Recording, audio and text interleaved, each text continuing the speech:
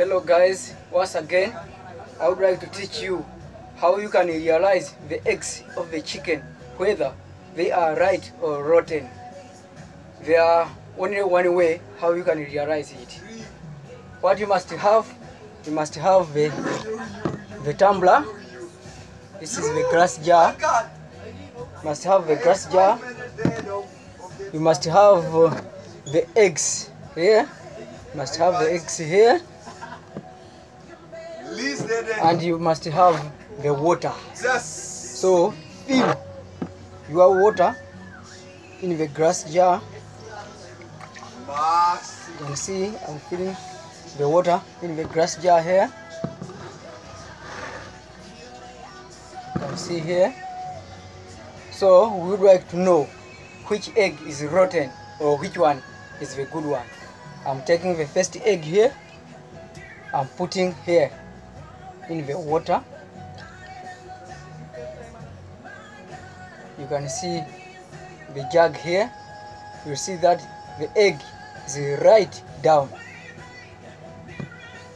on the bottom of the water.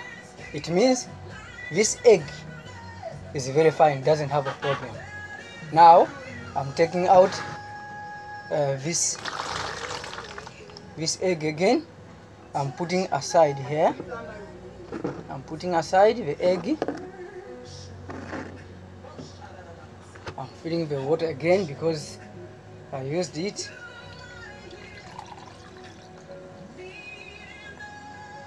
And now I'm putting the second egg into the same glass jar.